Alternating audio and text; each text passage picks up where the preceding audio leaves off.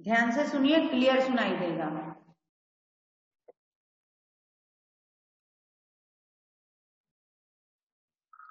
ठीक है page number 116 open कीजिए।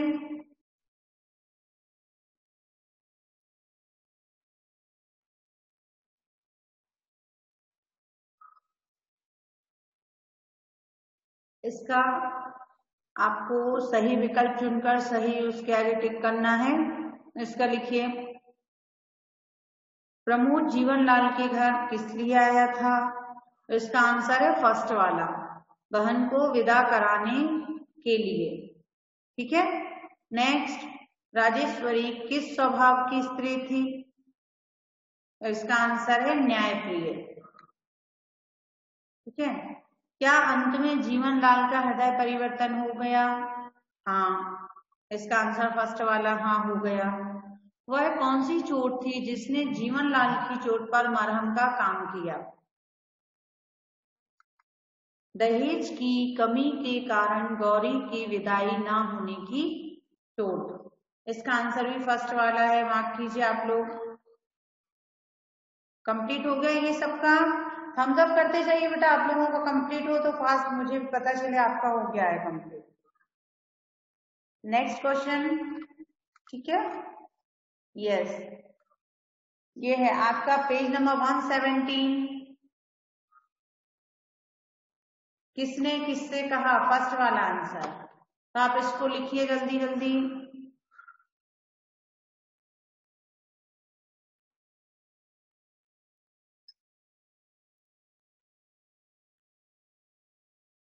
आप चैट बॉक्स में मैसेज करते हैं तो क्लियर कीजिए जो समझ में आए।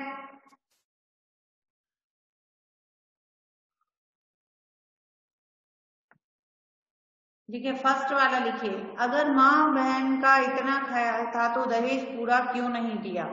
किसने कहा? जीवन लाल ने। किससे? प्रमोद से। ठीक है? नेक्स्ट यह तो सरासर अन्याय है। किसने कहा? प्रमोद ने जीवन लाल से।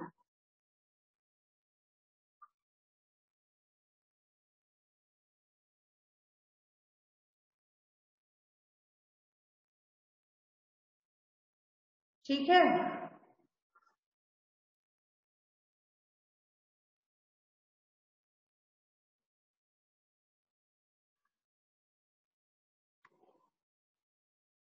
अभी दिख रही है सबको?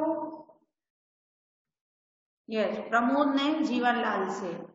अगला, उस कामना की पूर्ति के लिए इतनी बड़ी कीमत चुकाना कहाँ तक ठीक है? कमला ने प्रमोद से। अगर हर बेटे वाला यह याद रखे कि वह बेटी वाला भी है तो सब उलझने सुलझ जाएँ।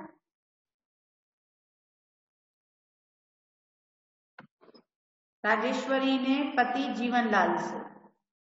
ठीक है, ये कंप्लीट हो गया आप लोगों का? हम सब कीजिए जल्दी से।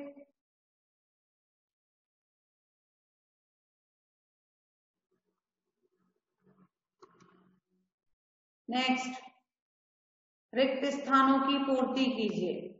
देखिए, आप इसका स्क्रीनशॉट भी ले लीजिए और कंप्लीट भी कीजिए। अगर किसी का कुछ रह जाता है, मात्रा मिस्टेक हो जाती है या कोई बहुत ही स्लो राइटर है तो वो क्लास के बाद भी उसको एक बार चेक कर सकता है। ठीक है? दहेज देना तो दूर बारह की खातिर भी ठीक से नहीं की गई। सेकेंड उस भोली भाली लड़की ने आपका क्या बिगाड़ा है? थर्ड बेटी वाला समझकर ही आप मेरा अपमान कर रहे हैं।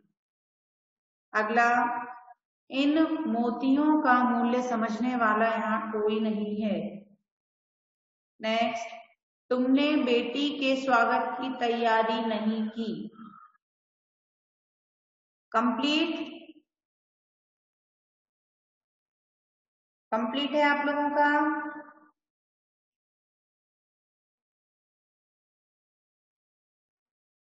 यस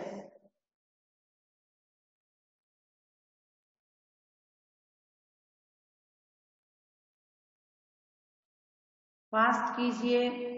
चैट बॉक्स में लगे हैं तो कहाँ से कंप्लीट होगा? हम यहाँ चैट करने में लगे हैं। जितना टाइम इसमें लिखने में लगा रहे हो, उतना टाइम आप आपकी बुक में लगाओ।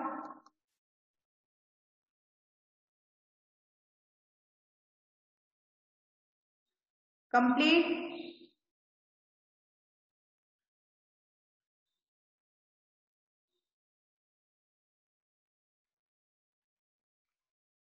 नेक्स्ट क्वेश्चन क्रियापद को रेखांकित कीजिए। तो ये देखिए, ये आपके अंडरलाइन किए हुए हैं, आप भी इनको अंडरलाइन कीजिए। देना पड़ेगा। कर जाती है। तैयारी करो।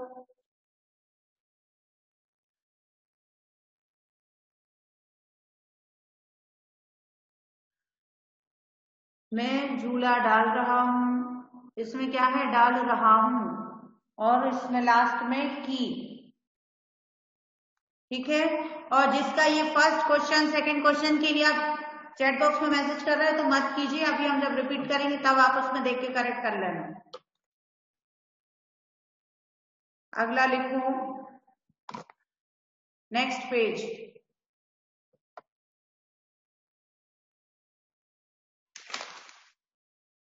नेक्स्ट पेज क्या निर्णय किया है आपने?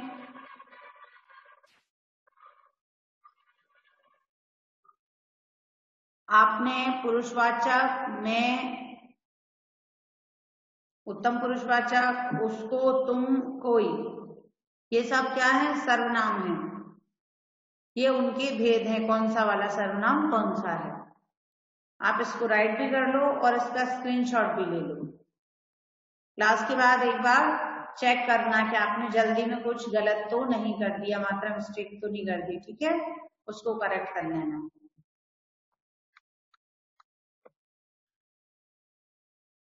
ये बहुवचन रूप लिखो। मोती, मोतियों, आँसू, आंसुओं, बेटी, बेटियों, रुपया, रुपए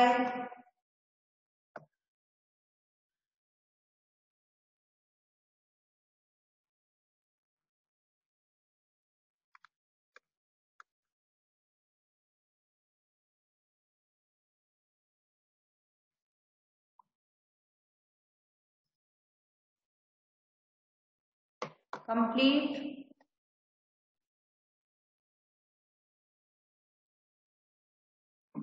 हुआ ये वाला कंप्लीट बहुवचन वाला क्वेश्चन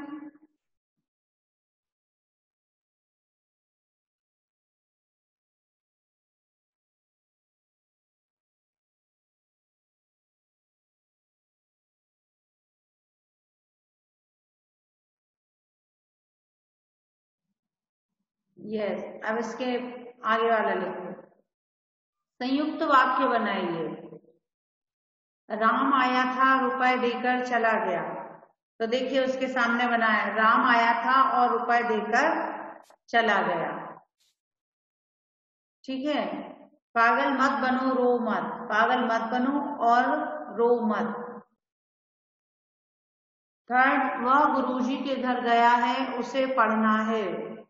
वह गुरुजी के घर गया है क्योंकि उसे पढ़ना है। है ना? करो आप इसको स्क्रीनशॉट भी ले लीजिए इसका और इसको आप राइट भी कर लीजिए।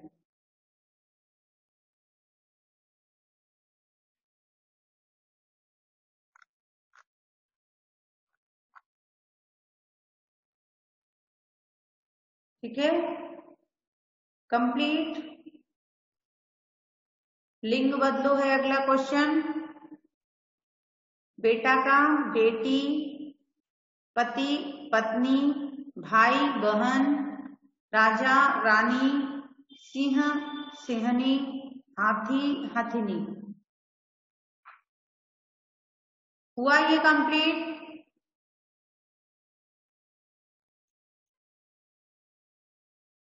हुआ? रेहान रनीश कीर्तन अर्शी काव्य हैदर क्या कर रहे हैं आप लोग? हुआ आपका कंप्लीट सौम्य?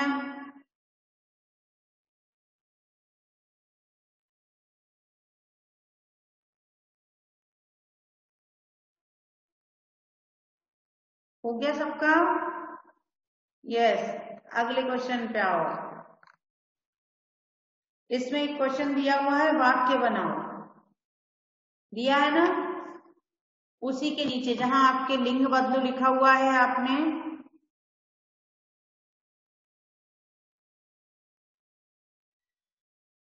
पर स्पीड में लिखिए। नीचे, उसी के नीचे क्वेश्चन दिया हुआ है, वाक्य बनाओ। दिया है ना? तो ये रहे वो चारों वाक्य। तो आप स्क्रीनशॉट ले लो और वहीं पे लिख लेना, उसके एरो बना के चारों लिख देना।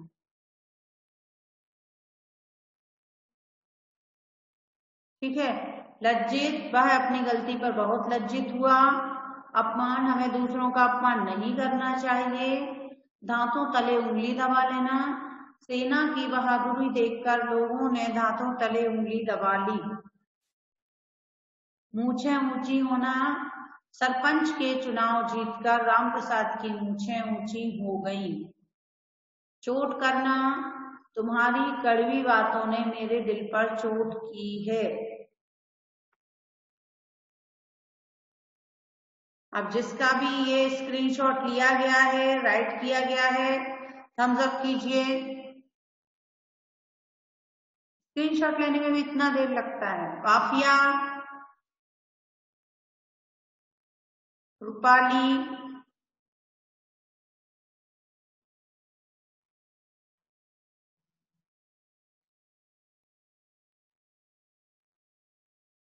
अदिति श्रुति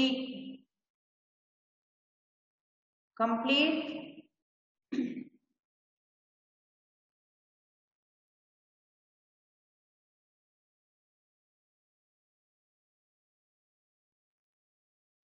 यस चलिए नेक्स्ट अब आपके इसी चैप्टर में वो दिया हुआ है आपके गद्यांश। इसके आंसर आप स्क्रीनशॉट ले लो, इसको मार्क कर लेना बाद में। गद्यांश दिया हुआ है आपके। पेज नंबर 116 सबसे ऊपर, और उसके तीन क्वेश्चन हैं, उनके आंसर देने हैं।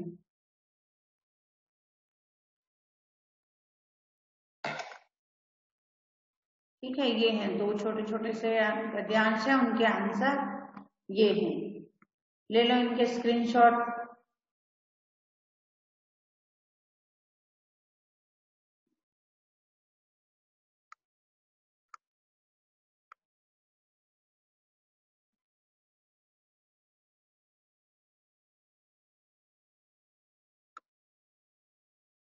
सेकंड वाला ये है छोटा सा। ये इसका पैसेज भी आ गया पूरा आपका गद्यांश भी आ गया और क्वेश्चन आंसर भी आ गया। इसका ले लो, आप स्क्रीनशॉट और बाद में बुक में ही राइट कर लेना।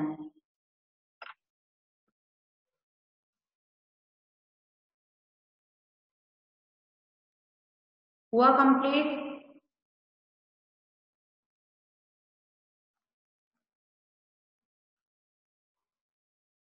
चलिए अब इसके क्वेश्चन आंसर देखते हैं। पाठ चौदह, क्या नाम है? बहू की विदा। इस एकांकी के लेखक का नाम क्या है? विनोद रस्तोगी। सेकंड इस एकांकी में किस समस्या को उठाया गया है? दहेज की समस्या को। ठीक है, क्या इस एकांकी में समाधान भी प्रस्तुत किया गया है? हाँ एकांकी के अंत में कहा एकांकी के अंत में इस समस्या का समाधान भी दिया गया है। यह एकांकी सुखांत है अथवा दुखांत? सुखांत, दुखांत का मतलब ये है, इस चैप्टर में, आखिरी में इसका जो एंड होता है, वो सुख के साथ होता है या दुख के? तो कैसे? सुखांत, सुख के साथ होता है। अगला है, जीवन लाल किस प्रवृत्ति के व्यक्ति हैं? क्या यह उचित है? जीवन लाल, लालची प्रवृत्ति के व्यक्ति हैं? यह कतई उचित नहीं है। जीवनलाल की पत्नी राजेश्वरी आपको कैसी लगी और क्यों? राजेश्वरी हमें बहुत ठीक लगी। वह न्याय की बात कहने वाली है। वह बहू और बेटी में अंतर नहीं करती। अगला, प्रमोद कौन है? उसका व्यवहार किस प्रकार का है? प्रमोद कौन है? प्रमोद कमला, जो जीवनलाल की बहू है। उसका भाई है और उसका व्यवहार शिष्यतापूर्ण है। अगला, राजेश्वरी क्या क्या तर्क देकर अपने पति को समझाती हैं? तो राजेश्वरी क्या क्या तर्क देती हैं? कि तुम भी तो किसी की बेटी को विदा ना करके अपमान कर रहे हो किसी का। अगर हर बेटे वाला यह याद रखे कि वह बेटी वाला भी है तो सब उलझने सुलझ जाए। है ना कि तुम भी किसी की बेटी को विदा ना करके अपमान कर रहे हो किसी का? और अगर हर बेटे वाला यह याद रखे कि वह बेटी वाला भी है तो सब उलझने सुलझ जाए। नेक्स्ट गौरी कौन है? उसकी विदाई क्यों नहीं हो सकी? गौरी जीवनलाल और राजेश्वरी की बेटी है। दहेज की कमी के कारण उसकी विदाई नहीं हो सकी। कौन है गौरी जीवनलाल और राजेश्वरी की बेटी है। दहेज की कमी के कारण उसकी विदाई नहीं हो सकी। ठीक है? अगला कभी कभी चोट भी मरहम का काम कर जाती है। यह कथन कहाँ तक सटीक बैठता है? मतलब यह कहाँ तक सही बैठ रहा है? उचित कहाँ तक है? तो यह कथन पूरी तरह सटीक बैठता है। जीवनलाल पर की गई चोट ने भी उसके घाव के लिए मरहम का काम किया। यह कथन पूरी तरह सटीक बैठता है। जीवनलाल पर की गई चोट ने ही उसके घाव के लिए मरहम का काम किया। अगला जीवनलाल का हृदय परिवर्तन किस कारण हुआ? जब उसकी अपनी बेटी की विदाई नहीं हो पाई, तब जीवनलाल का हृदय परिवर्तन हुआ। उसे दूसरे के दुख का तभी एहसास हुआ। मतलब आभास हुआ। मतलब जब उसकी खुद की बेटी को भी इसी रीजन से उसके ससुराल वालों ने विदा नहीं किया कि दहेज कम मिला था तो फिर जीवनलाल का हृदय परिवर्तित हो गया। उसे दूसरे के दुख का भी तभी आभास हुआ और उसको तभी यह भी फील हुआ कि हाँ जैसा मुझे दुख हो रहा है ऐसा उसे भी। अब ये फोर्टीन चैप्टर के क्वेश्चन आंसर आपको समझ में आए? क्लास समझ में आए आपको? बाकी सब? कोई डाउट हो तो पूछ लीजिए। कॉपी कंप्लीट कर लेना और आप लोग।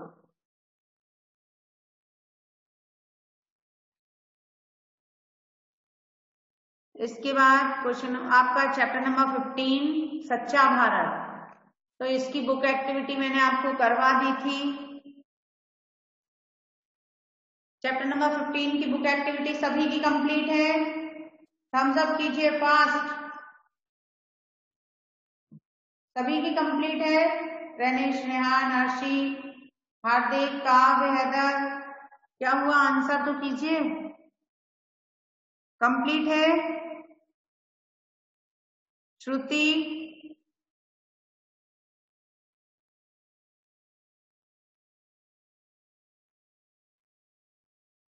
है कंप्लीट भक्ति, अदिति। चलिए ठीक है। यस वेरी गुड अब इसके क्वेश्चन आंसर एक्सप्लेन करने को रह गए थे तो आप इसके क्वेश्चन आंसर देख लीजिए। चैप्टर नंबर फिफ्टीन सच्चा भारत छोटे से इसके क्वेश्चन आंसर हैं। आपको बहुत इजीली याद हो जाएँगे। आप इसको ध्यान से एक बार सुन लीजिए। और भी जल्दी, और भी जल्दी आपको याद हो जाएगा।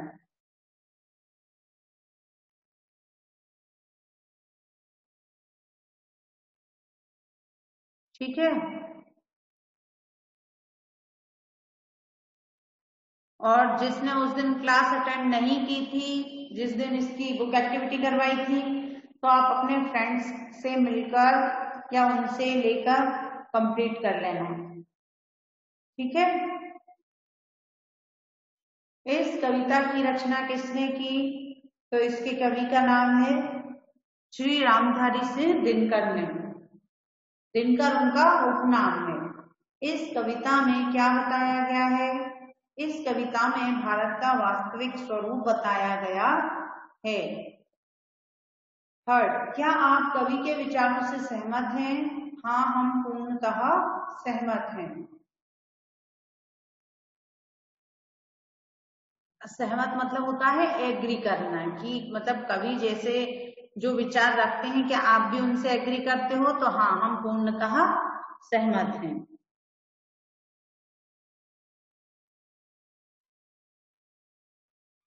अगला क्वेश्चन है, कवि के अनुसार भारत मानचित्र में ना होकर लोगों के मनों में बसा है। इस कथन का आशय स्पष्ट कीजिए। क्या है इस कथन का आशय? इस कथन का आशय यह है कि भारत किसी भौगोलिक आकृति का नाम नहीं है। मतलब जो भारत है, वो सिर्फ़ एक मैप नहीं है। क्या है? वरन यह एक भाव है जो लोगों के हृदयों में बसता है।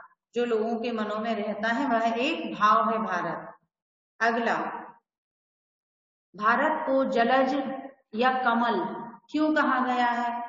तो जलज जो है, जलज, पंकज, कमल, ये सब एक दूसरे के पर्यायवाची हैं, ठीक है? कमल का पर्यायवाची ही होता है, जलज, पंकज। ठीक तो ये भी याद रखना। जलज जल में रहकर भी, उससे ऊपर रहकर पवित्र बना रहता है। इसी प्रकार भारत पवित्र है। क्या बोलते हैं कि जिस प्रकार कमल का जो पुष्प होता है, वो जल में रहकर भी जल से ऊँचा उठा रहता है, उसी प्रकार हमारा भारत भी पवित्र है। जैसे वो पानी में टच नहीं होता और ऊपर रहकर पवित्र बना रहता है, वैसे ही हमारा भारत भी है। भारत की कल्पना कैसी है? भारत की कल्पना बड़ी मोहक है। मोहक है मतलब हमारा मन मोह लेती है। यह मनुष्य की आभा है। आभा मीन्स होता है चमक यह मनुष्य की आभा है। स्वर्ग के समान सुंदर है। जो हमारे भारत को हम जिसकी कल्पना करते हैं ना, वो कैसा है? कल्पना बड़ी ही मोहक है। मनुष्य की आभा है और स्वर्ग के समान सुंदर है। भारत को कैसी संख्या बताया गया है? तो इसका आंसर है, भारत को विराग विराग मतलब वैराग्य की संज्ञा बताया गया है। नेक्स्ट है आपका, दाह जग जीवन को हरने वाली भावना क्या होती है? भारत के संदर्भ में इसका क्या औचित्य है? तो है, संसार के जीवन में जो जलन है, कष्टमयी स्थिति है, उसको दूर करने वाली भावना। क्या है? संसार के जीवन में जो जलन है, कष्टमय स्थिति है, उसको दूर करने वाली भावना है। ठीक है? भारत का कौन सा रूप विश्व में दीप्तिमान है? दीप्तिमान मतलब चमकना, चमक रहा है। भारत का जीवित प्रेममय अखंड रूप विश्व में दीप्तिमान है मतलब भारत का जीवित, प्रेममय, अखंड रूप विश्व में चमक रहा था। नेक्स्ट कवि किस प्रकार के भारत को प्रणाम करने के लिए कह रहा है? कवि उस भारत को प्रणाम करने के लिए कह रहा है जो लोगों के दिलों में बसा है। कवि किस तरह के भारत को प्रणाम करने को कह रहा है? कवि उस भारत को प्रणाम करने को कह रहा है जो लोगों के दिलों में बसा है। ठीक है? जो लोगों के दिलों में बसता है। ये आपके हो गए फिफ्टीन चैप्टर के क्वेश्चन आंसर ये बहुत इजी हैं, छोटे हैं। आप इनको जल्दी से कंप्लीट भी कीजिए और इनको लर्न करना शुरू कर दीजिए। अब आपके फिफ्टीन चैप्टर तक book activity question explanation chapter explain सब हो गया है, ठीक है? अब आप कॉपी इतनी कंप्लीट रखिए, इसकी सारी कॉपी कंप्लीट कर लीजिए। और फिर इनको लर्न करना शुरू करना है। ठीक है? अब आपको समझ में आई है दोनों चैप्टर अब देखिए, मेरे पास बीच में एक आध मैसेज आया था कि कोई सा क्वेश्चन छूट गया है फोर्टीन का बुक एक्टिविटी का। तो ये देखिए, सारे क्वेश्चन हम आपको एक बार स्क्रीन दिखा रहे हैं। आप अपने स्क्रीन में उसको स्क्रीनशॉट ले लीजिए, अगर कोई सा आपका रह गया है। ये देखिए। ठीक है चेक कर लो भले आप एक बार।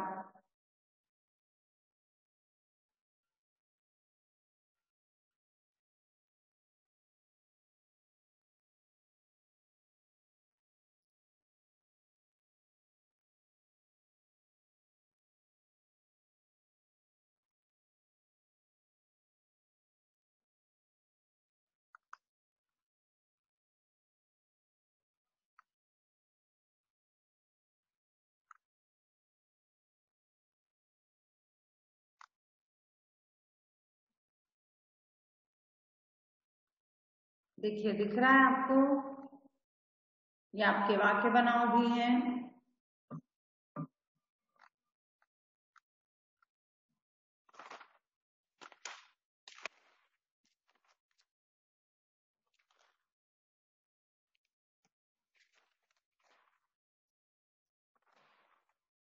हमने सिक्सटीन चैप्टर भी पढ़ लिया है। है ना? सिक्सटीन चैप्टर भी रीड कर लिया है ना? अब हम इसकी कल आपको बुक एक्टिविटी और क्वेश्चन आंसर एक्सप्लेन करेंगे, ठीक है? सिक्सटीन चैप्टर्स आपने पढ़ा है।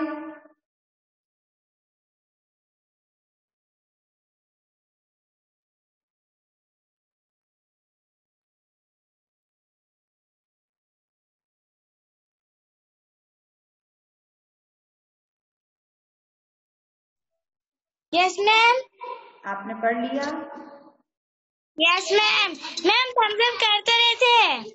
क्या? थम्स अप किया तो था।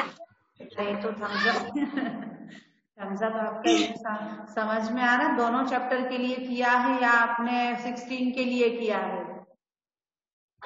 मैम दोनों चैप्टर के लिए। और सिक्सटीन भी रीड किया है ना? यस मैम उस दिन एक्सप्लेन किया था जब आप अटेंड की थी क्लास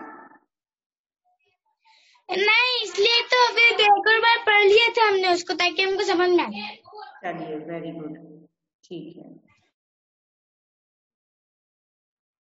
यस और कौन है इधर? बाकी सबने पढ़ा है ना? चलिए तो कल हम आपको 16 की बुक एक्टिविटी और क्वेश्चन आंसर एक्सप्लेन करेंगे, ठीक है?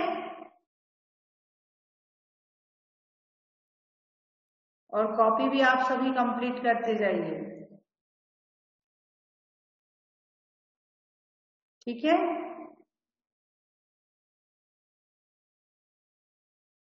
चलिए हैव अ नाइस डे